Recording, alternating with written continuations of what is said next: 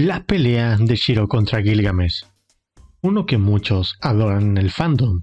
Tanto en la novela como en el anime se nos deja claro que un Limit Labors es la única jugada, el counter natural de Gilgamesh, ya que Gilgamesh posee los tesoros de todos los héroes de la humanidad, por lo que conoce sus debilidades. Pero algo como un Limit Labors que almacena armas y que no es algo específico que él tenga, tiene cierto tipo de ventaja contra Gilgamesh, pero claro, la pelea se torna un poco a favor de Shiro también porque Gilgamesh, debido a su gran ego y confianza, no lo toma en serio. Para muchos esto es un error por parte del autor más que nada de que Gilgamesh debió ganar. Claro que sí debió ganar, pero Gilgamesh al menos en Fate Night en esta ruta está construido para ser así, por lo que por eso perdió.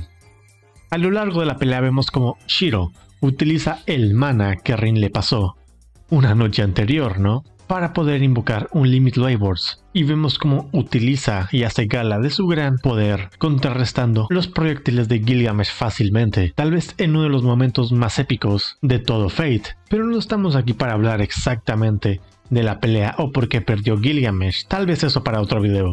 Vamos a hablar de Roayas. Primero que nada, ¿qué es Roayas? Es el escudo que Archer posee, en el cual lo invoca para defenderse de varios ataques en esta ruta contra el Gaebol de Kuhulain que logra desviar.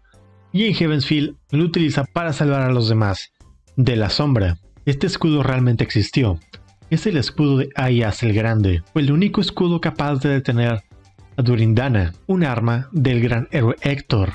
Es un escudo de bronce cubierto con siete capas de cuero de buey. Es un arma conceptual que según se dice puede protegerse de cualquier proyectil o arma como una defensa absoluta. Pero ¿cómo es que Archer obtuvo este escudo? Recordemos que Archer tiene la habilidad de que con solo ver un arma la puede almacenar en su Limit Waivers y utilizar. Sabemos que Archer en su vida tuvo varias cosas. Hizo varios viajes para según ser un héroe, y en ese viaje obtuvo varias cosas. En algún momento se consiguió con el escudo y lo pudo almacenar en un Limit Labels. No hay una historia exacta de cómo lo consigue, pero pues se menciona por ahí en entrevistas, en detallitos, de que así lo obtuvo en su viaje mientras él estaba vivo. Y sabemos que este escudo tiene un gran poder, como hemos mencionado. Volviendo a la pelea con Gilgamesh, vemos que Shiro lo utiliza. Aquí es el segundo error que muchos han comentado. ¿Cómo es que Shiro puede utilizar Roayas, si es que él nunca ha visto este escudo, porque no ha empezado su viaje y nunca lo vio usar a Archer en la ruta Unlimit Waivers específicamente. Tal vez esto sea un error del anime. La respuesta es que no, también pasa en la novela. Pero para explicar esto a detalle vamos a hacer una entrevista del Fate Complete Material número 3, el War Material, el cual incluye una entrevista a Nasu, donde él habla un poco de esto. Pero antes de esto, como detalle curioso, vemos que también lo utiliza en Heaven's Field. Pero aquí vemos que Shiro sí vio a Archer utilizar Roayas en la misma escena donde él se sacrifica para protegerlos de la sombra. Ahí Shiro almacenó. Como dijimos, con solo ver, Shiro o Archer tienen la habilidad para almacenar las armas. Lo mismo con Rule Breaker, que utiliza para cortar el lazo de Sakura y Angra Manju al final. Que de eso ya hablé en un video que tal vez deje por aquí arriba si no se me olvida. Pero bueno, volviendo a la entrevista.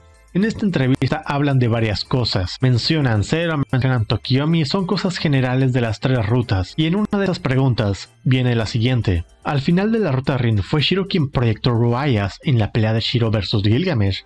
¿O fue Archer? En el Fate Side Material te dice que esta fue una proyección de Archer, pero en la historia, pues se ve que es Shiro quien lo proyecta. Esto significa que es un cambio de escena con Archer. Y Nasu responde, esto es fácil de malinterpretar, pero la parte sobre Archer apoyando a Shiro fue antes de que Shiro sacara Roayas, antes de que Shiro se diera cuenta. Después del monólogo de Shiro sobre su sorpresa de que todavía estaba vivo después de recibir el ataque de Gil, que él dice sí, sobreviví, debe haber una razón por la que sobreviví, pero eso era simplemente algo sobre lo que no tenía ningún control. Y explica ese fue el Roayas que Archer hizo para ayudar a Shiro de una manera que no le permitiera a Gilgamesh saber que había alguien más esperando para tenderle una emboscada. Y la emboscada pues vemos que es al final, cuando le clava una flecha en la cabeza a Gil. Y bueno, con esto explicado vamos a ver cómo sucede esto en la secuencia. Paso por paso, Roayas la primera vez que aparece es cuando protege a Shiro de Gilgamesh. Este es el Roayas que utiliza Archer a distancia mientras ve la pelea no es algo que Shiro invocó por sí mismo. Y bueno, ya dentro de un Limit Waivers en la pelea podemos tal vez dar a entender, Shiro sí lo utilizó por él mismo, ya que lo vio antes utilizarlo por Archer cuando lo salvó. Y pues lo podemos ver como una actuación, de que lo hicieron para dar a entender, para que Gil no descubriera que Archer seguía vivo, y así poder terminarlo bien. Y aquí está la respuesta. No es realmente un error del anime o de la novela que Shiro utilice Rayas, pero aún así está muy raro todo esto, ya que no lo explican bien, que pues en una entrevista, como dijimos, Nasu explicó esto, y pues tengo la entrevista completa si quieren que la saque, porque tiene muchos detalles muy interesantes sobre las tres rutas y el mundo general de Fate Stay Night. Pero bueno, este fue el video, espero les haya resolvido la duda. Y si no les gustó, den like, comenten qué les pareció. Redes sociales en la descripción, compártelo y suscríbete. Nos vemos.